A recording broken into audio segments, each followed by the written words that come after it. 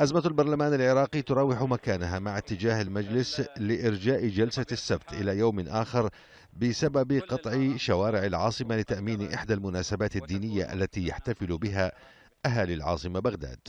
تلك الجلسة وبحسب مصادر مقربة ينتظرها كثيرون لحسم ملف الحكومة المستقلة وحل أزمة النواب المعتصمين التي دخلت أسبوعها الرابع وذلك على الرغم من الأنباء عن احتمال تأجيل التصويت على أسماء المرشحين بسبب عدم اكتمال النصاب. فيما تفيد مصادر أخرى بأن العبادي هو الآخر لم يستكمل مشاوراته مع الكتل الأخرى بشأن أسماء مرشحين جدد بعد أن صوت المجلس ضد خمسة من الأسماء التي قدمها العبادي في تشكيلته الحكومية.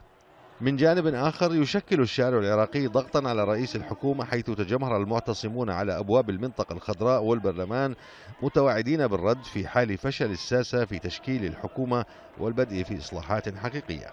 وبالتزامن مع سير الاعتصامات لم يحسم النواب المعتصمون الذين أعلنوا مقاطعة الجلسات أمرهم بعد بين تشكيل كتلة معارضة داخل البرلمان أو العودة من جديد إلى قاعات المجلس حتى صدور قرار المحكمة الاتحادية بشرعية الجلسة التي تمت فيها إقالة رئيس البرلمان ونائبيه.